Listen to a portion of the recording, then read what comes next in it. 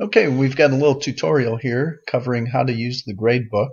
I'm uh, going to assume that you've downloaded and now open the gradebook and that it looks something like what you see on the screen here.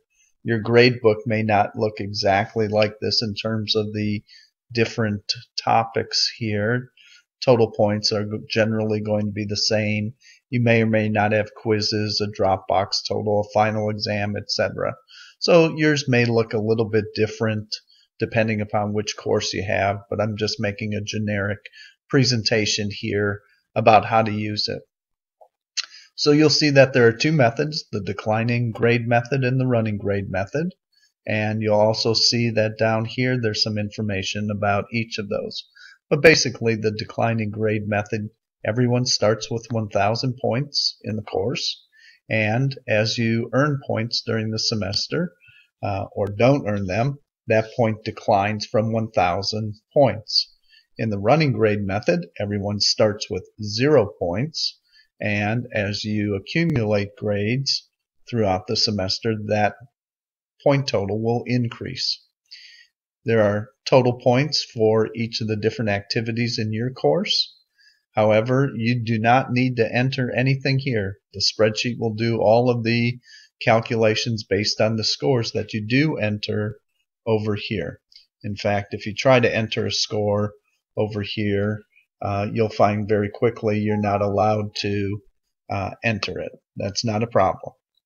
So where do you enter scores? Well, if you look, for example, over in quizzes or whatever different activities you might have in your specific class, all you do is enter those scores. So you uh, from D2L. You do not enter the percentages, but rather just the D2L score that you see in, in the gradebook. So, for example, uh, in this class, quizzes are worth 25 points, and that's why up in the declining method, each one is already set at 25. Well, maybe on the first one you only earned a 23, and a 20, and a 15, and a 12, and a 22, and a 25. So maybe you've already completed six chapters in this class.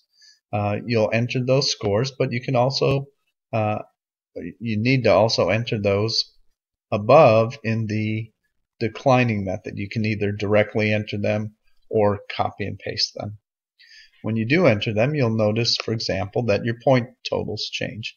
For example, here the total is decreased from 1,000 down to 967 and the total for your grades uh, in, in, the running grade for those quizzes is 117. Uh, exactly the same value there. Notice there's nothing yet in the Dropbox total. But if you go over to the Dropbox total or whatever activity you have in your course and enter those scores, for example, maybe you earned a 1 point or a 2 and then here you earned a 1.8. Wow, I entered 1.8, but it changed to 2.